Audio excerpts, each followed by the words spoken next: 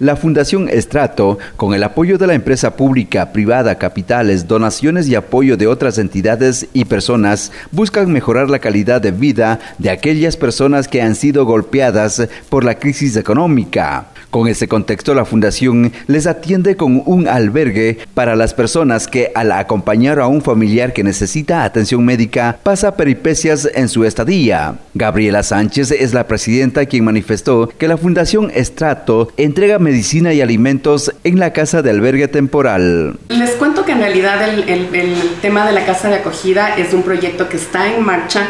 Eh, definitivamente después de la firma del convenio empezamos ya a recibir personas que están siendo beneficiadas de este espacio.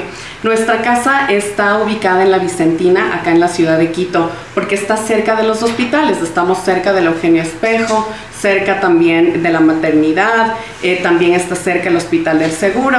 El Iguasi firmó un convenio de cooperación con la Fundación con el objetivo de albergar a personas en estado de vulnerabilidad que se desplazan a los hospitales de la capital de la República. Los habitantes pueden coordinar con el personal de la institución y acogerse a este beneficio. Eh, un convenio que nos permita viabilizar la asistencia en hospedaje y también alimentación para estas personas que eh, van justamente a la ciudad de Quito por necesidad de atención médica. Muchas veces hay accidentes que, que ocurren y hemos visto que muchos de nuestros pobladores pasan por momentos difíciles en la ciudad de Quito. Jimmy Reyes aclaró que además de la casa de acogida, la fundación apoya a los habitantes de la parroquia Chontapunta con la entrega de sillas de rueda, alimentos y vestimentas. Concluyó que la fundación se apadrinó de la parroquia. Justamente la fundación también nos ayuda a gestionar eh, lo que son productos de primera necesidad y, y si hay esa generosidad del pueblo, de la provincia o de pronto de,